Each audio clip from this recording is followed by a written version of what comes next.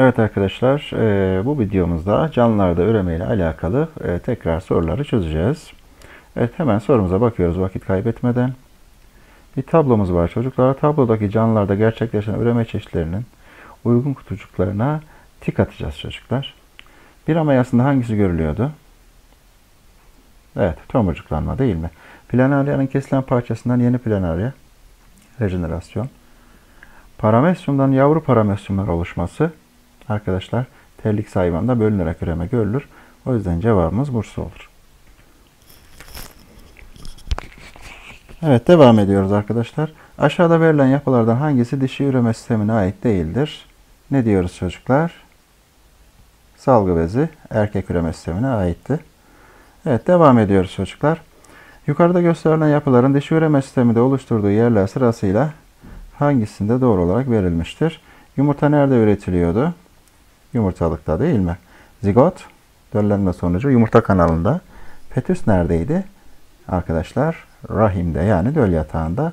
O zaman cevabımız Adana olur. Bir başka sorumuz arkadaşlar özdeş fasulye tohumları ile tohumları ve aynı özellikte olan toprak ile hazırlanan düzeneklerden hangisinde fasulye tohumları diğerlerine göre daha hızlı filizlenir? Bakın bakalım çocuklar. Evet arkadaşlar. Bir kere kuru toprak diyor. Olmaz. Sos kuralımız vardı. Nemli nemli nemli olur ama burada oksijen almıyor. Sostaki o yani oksijen yok. Olmadı. Peki bu mu bu mu çocuklar? Takdir edersiniz ki oda sıcaklığı en uygun sıcaklıktır. Dolayısıyla doğru cevabımız denizlidir. Çok soğukta e, çocuklar evet yani 5 derecede çimlenme çok yavaş olur. Ama mesela 0 derece deseydi kabul etmeyecektik. Çünkü 0 derecede enzimler görev almaz. Evet arkadaşlar devam ediyoruz. Öğretmene sorduğu soruya hangi öğrenci doğru cevap vermiştir? Erkek üreme sisteminde bulunan salgı bezinin görevi. Bakın bakalım çocuklar. Evet salgı bezinin görevi sperm hareketini kolaylaştırmak için salgı üretmekte hatırlarsınız. Evet. Devam edelim çocuklar. Bir başka sorumuz. Hangisi anne adayının alması gereken tedbirlerden biri değildir diyor. Bebeğin sağlıklı gelişebilmesi için. Bakıyoruz çocuklar. İhtiyacından fazla gıda tüketmemelidir. Hafif egzersiz yapmalıdır. Pamuklu dar ve vücudunu sıkan kıyafetler giymelidir diyor. Takdir edersiniz ki C seçeneğimiz yanlıştır. Arkadaşlar devam ediyoruz. Kelebeklerle ilgili hangileri doğrudur? Yumurtadan çıktıklarında ana canlıya benzer diyor. Başkalaşım geçirdiği için benzemez çocuklar. Değil mi? Gelişimleri sırasında pupa adı verilen evre görülür. Evet hatırlayın çocuklar başkalaşma evresinde pupa var mıydı? Değil mi? Başkalaşım geçirerek e, şekilde verilen görünümü alırlar. İşte bu doğrudur arkadaşlar. Cevabımız 2 ve 3'tür. Bakıyoruz çocuklar. Aşağıda verilen hayvanlardan hangisinde yavrularını düşmanlardan koruma içgüdüsel davranışı gözlenmez diyor arkadaşlar. Yani yavru bakımı yoktur diyor. Ne dersiniz? Ceylan memeli, papağan kuş, aslan memeli. Memeli ve kuşlarda çocuklar yavru bakımı var ama sürüngenlerde yok. Kertenkele için böyle bir durum söz konusudur. Bir başka sorumuz arkadaşlar. Bu olayların meydana gelme sırası demiş. Çiçekli bitkilerde üreme sırasında. Evet bu sorular çok çıkar. Ne olur dikkat edelim. En başta hangisi oluyordu arkadaşlar? Evet. Burada bir e, baskı hatası var çocuklar. Onu ben size e, söyleyeyim de. Sperm yanlış yazılmış. E, ne demesi lazım? Polen. Değil mi? Polen demesi lazım. Çiçekli, çiçekli bitkilerde sperm olmaz. Burada bir baskı hatası olmuş. Neyse siz öyle bilin. Buraya polen diyelim biz tamam mı? Evet arkadaşlar polen ve yumurta hücresi oluşumu.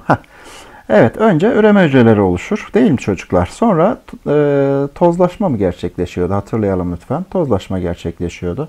Arkadaşlar tozlaşma biliyorsunuz erkek organın başlığındaki e, polenin dişi organın tepeciğine gelmesi olayıydı. Tozlaşmadan sonra yumurtalıkta döllenme oluyor. Döllenmeden sonra çocuklar e, zigot, embriyo ve tohum oluşuyordu. En son tohum oluşumu. Dolayısıyla en başta da polen üreme hücrelerinin oluşumudur. Dolayısıyla 4, 3, 1 ve 2 sıralaması olacağı için cevabımız ne olur arkadaşlar? Cevabımız Ceyhan olur. Devam ediyoruz arkadaşlar. Çimlenme sırasında tohumun aşağıda verilenlerden hangisine ihtiyacı yoktur? Çimlenmede neye ihtiyaç yoktu? Işığa ihtiyaç yoktu. Hatta buraya toprak yazsa, yazmamış da toprağa da ihtiyaç yok değil mi? Hepiniz, çoğunuz hatta fasulyede, şey pamukta fasulye çimlendirmiştir. Toprakta şart değil. Evet arkadaşlar bir paragraf sorumuz var bir bakalım. İnsanda üreme ile ilgili verilen paragraftan hangi çıkarımlar yapılır? Öncelikle paragrafımıza bir bakalım. Kısırlık bazı ailelerde bir yıldan uzun bir süre hiçbir korunma yöntemi kullanılmamasına karşın çocuk olmaması durumdur. Sağlıklı bir gebelik için kadın ve erkeğin üreme sistemlerinin hatası çalışması gerekir. Evlendikten sonra ilk bir ay içinde kadının gebe kalma olasılığı yaklaşık %25'tir. İlk yılın sonunda gebe kalma oranı %85 olur ve 2 yılın sonunda ise %90'ı geçer. Sağlıklı gebeliğin ilk şartı erkekte normal yamada ve sayıda spermin, kadında da normal bir yumurtlamanın bulunmasıdır. Kadınlar her ayın belirli bir gününde yumurta oluşturur ve bu yumurta üreme kanallarına geçer.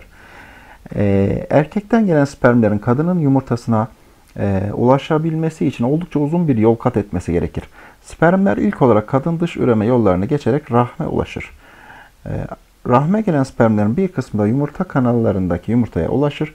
Yolculuğa çıkan milyonlarca spermden sadece biri yumurtaya ulaşıp onu dölleyebilir. Yani yarışı kim kazanıyorsa diyebilirsiniz. İnsanda üreme ile ilgili verilen paragraftan. Şimdi bire bakıyoruz. Evlilik yapmış olan tüm çiftler çocuk sahibi olmayabilir. Arkadaşlar e, çünkü kısır bireyler var biliyorsunuz.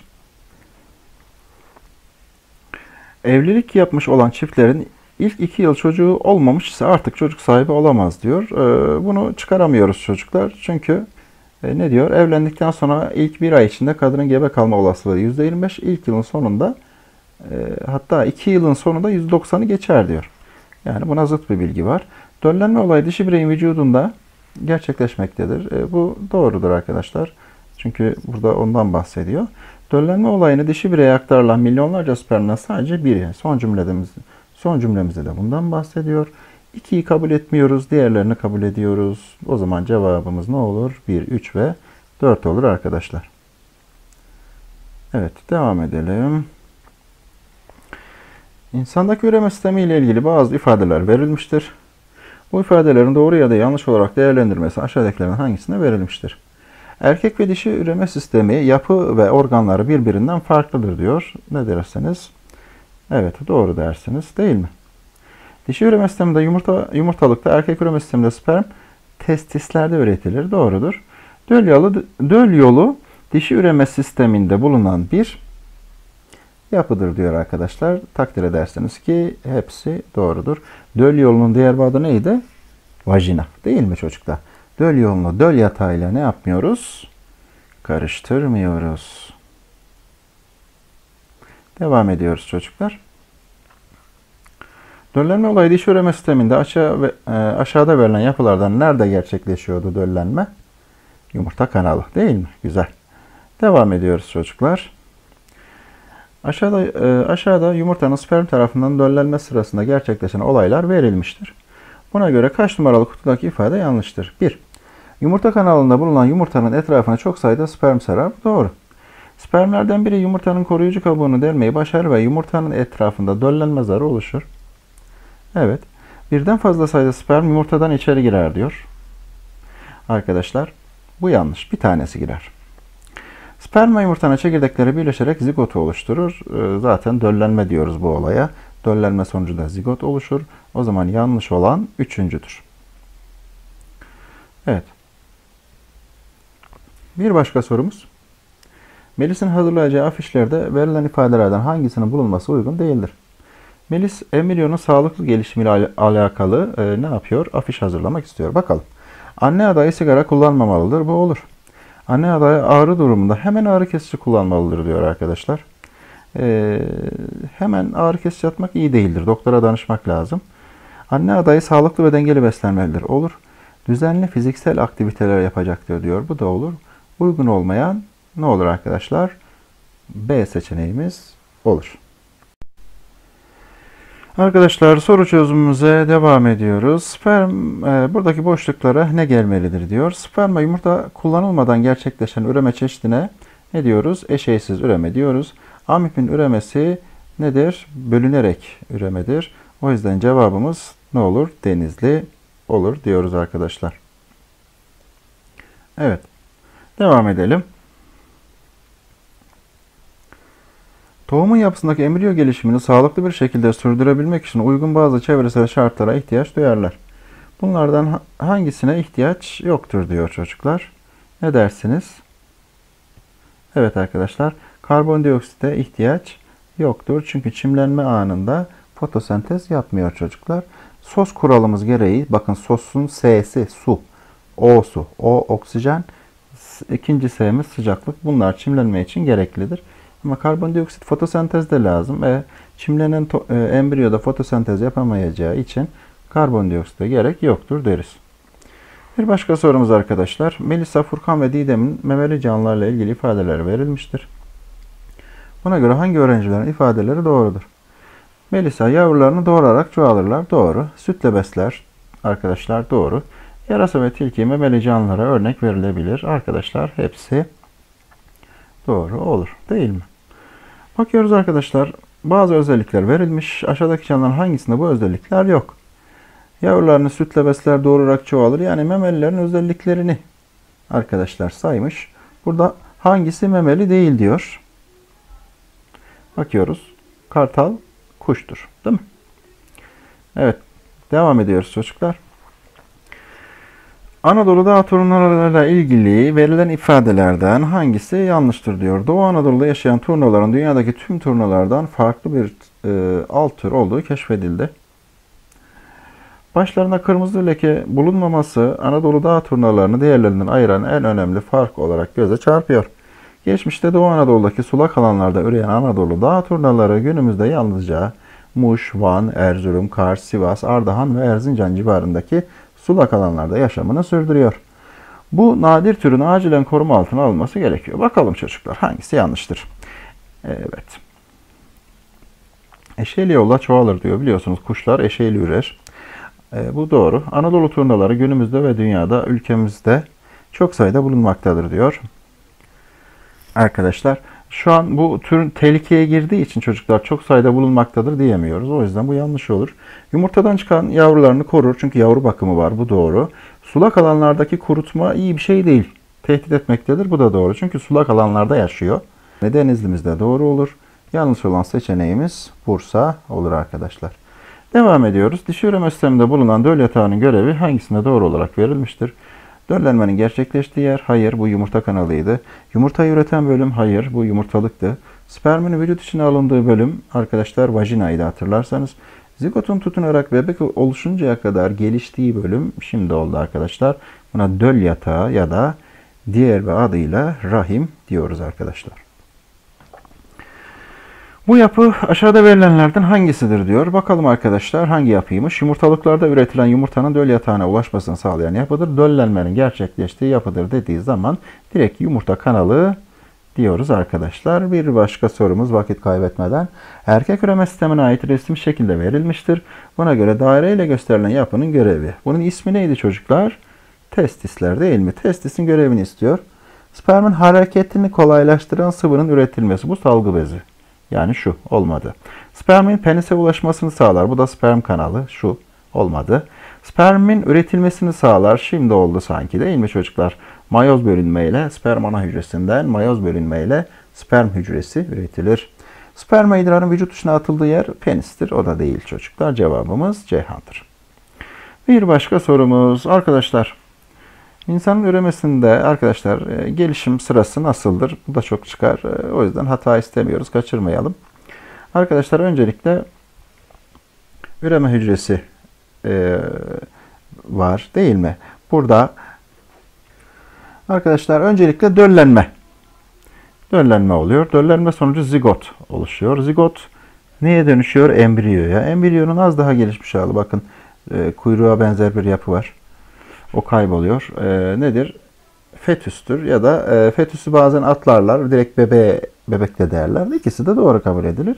Yani sıralamamız önce e, döllenme olacak sonra zigot oluşacak. 4, 1, 3, 2. Yani doğru cevabımız ne olur çocuklar? Bursa olur. Bu sıralamalara dikkat ediyoruz, karıştırmıyoruz. Evet çocuklar, bir başka sorumuz şunu atladık mı? Bitkilerin gelişimine etki eden faktörlere hangileri örnek verilebilir? Işık, hava, sıcaklık, mineraller, su. Arkadaşlar bitki dediği için bunların hepsi lazım. Ama çimlenme anında deseydi, mesela burada ışığı almayacaktık değil mi? E, minerallere de çok gerek yoktu. Ama hava, sıcaklık ve su, sos kuralı gereği bunlar lazımdı. Arkadaşlar bir başka sorumuz doğru yanlış sorusu bakıyoruz. Embriyonun sağlıklı gelişimi için hava kirliliğinin olduğu ve sigaranın içildiği ortamlardan uzak duracak doğru. Yağlı ve karbonhidratlı gıdaları daha fazla tüketmeli yanlış. Radyasyona ve röntgen ışınlarına maruz kalmamalıdır. Doğru. O zaman cevabımız Bursa mı olur? Evet. Bir başka sorumuz arkadaşlar. Bu canlıların ortak özelliğini istemiş. Bakteri, deniz yıldızı, menekşe, planarya. Yumurtlayarak çoğalma olmadı. Yavrularını sütle besleme olmadı. Yavru bakımının görülmesi olmadı. Eşeysiz çoğalma oldu. Hepsi eşeysiz çoğalır. Bakteri bölünerek deniz yıldızı rejenerasyonla, planarya rejenerasyonla, menekşe vejetatif yolla çoğalabiliyor. Bir başka sorumuz arkadaşlar. Resmi verilen canlı ile ilgili bazı öğrencilerin ifadeleri verilmiştir. Buna göre hangi öğrencilerin ifadeleri doğrudur? Kuşlarla alakalı başkalaşım geçiriliyor. Yanlış çocuklar. Kuşlarda başkalaşım yok. Başkalaşım kimlerde var? Kurbağa ve böceklerde. Kelebek gibi böceklerde. Yumurta ile çoğalır doğru. Yavru bakımı vardır. Yavru bakımı zaten iki canlı türünde var. Biri kuşlar, biri memeliler. O yüzden Sena ve Rana'yı kabul ediyoruz. Arkadaşlar bir başka soru böceklerle alakalı. Çocuklar Sydney, Sydney Üniversitesi tarafından yürütülen bir araştırmaya göre önümüzdeki 100 yıl içinde böcek türünün yok olabileceği iddia edildi. Araştırmaya göre arılar böcek popülasyonu içerisinde nesli tükenmekte olan türler listesinde ilk sıralarda yer alıyor. Araştırmacılar böcek türlerinin kaybolması durdurulamazsa bunun hem gezegenin ekosistemi hem de insanlığın hayatta kalması açısından korkunç sonuçları olacaktır açıklamasını yapıyorlar. Böceklerin yok olması verilen sonuçlardan hangilerinin oluşmasına neden olur? Bitkilerde tozlaşma azalacağı için bitki sayısı ve çeşitliliği zamanla azalacaktır diyor arkadaşlar. Şimdi arılar tozlaşmaya yardımcı olduğu için değil mi böcekler vesaire e, tabi tozlaşma azalır. Tozlaşma azalırsa bitki sayısı da tehlikeye girer. Kuş, balık ve yarasa gibi memeli hayvanların besin kaynağı ortadan kalkacağı için bu canlıların sayıları azalacaktır. Doğru. Çünkü arkadaşlar bu besinler zincirleme değil mi? Ekosistemlerde bozulmalar meydana gelecek ve insan sağlığı açısından olumsuz etkilenecektir. Aynen öyledir arkadaşlar. Tüm doğadaki denge bozulacaktır. Dolayısıyla hepsini kabul ederiz. Bir başka sorumuz çocuklar. Dişi üreme sistemindeki yapılarla ilgili hangileri doğrudur diyor. Bakıyoruz çocuklar. Bir numaralı yapı dişi üreme sistemi dişi üreme hücresi olan yumurtayı üretir diyor. Bir yumurtalık. Dolayısıyla doğrudur.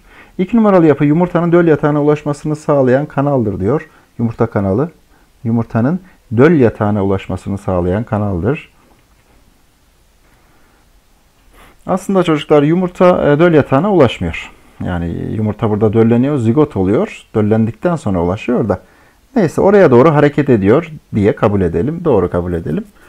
Arkadaşlar 3 numaralı yapı zigotun yerleştiği ve geliştiği yerdir. Bakıyorum döl yatağı evet doğrudur. 4 numaralı yapı döllenme olayının gerçekleştiği yerdir. 4 vajina. Vajinada mı döllenme oluyor? Hayır. Nerede döllenme oluyor? Yumurta kanalında. O yüzden cevabımız 1, 2 ve 3 olur çocuklar. Evet çocuklar bir başka sorumuz. Her hatasız işaretleme için 2 puan, al, 2 puan alan Emre'nin etkinlikten aldığı puanı istiyor. Bakıyoruz çocuklar. Erkek bireyde 2 testis bulunur. Doğru. 2 puan cepte. Görevi sperm üretmek olan testisler vücut dışında bulunur. Bu da doğru ama yanlış dediği için puan alamıyor. Sperm kanalı spermleri testislerden penise taşır. E, testislerden penise taşır diyor arkadaşlar. Doğrudur. 2 puan daha aldı. Etti 4 puan. Penis spermlerin ve idrarın erkek vücudundan dışarı çıkmasını sağlar. Doğru ama yanlış dediği için puan alamıyor. 2 artı 2'den 4 puan alıyor Emre diyoruz arkadaşlar. Şimdilik görüşmek üzere.